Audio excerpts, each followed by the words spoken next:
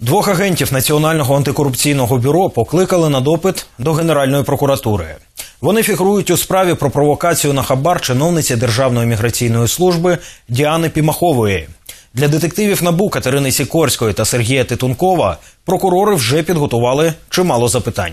Зокрема, буде з'ясовуватися, як були призначені на посади ці агенти, якщо вони не проходили відкритий конкурс, як це вимагається законом про антикорупційне бюро України. Також є запитання щодо існування у Сікорської та Тітенкова допусків до державної таємниці, оскільки у них були знайдені документи з грифом таємності. Законність використання ними спеціальної апаратури, яка не зареєстрована в СБУ, також буде цікавити слідчих.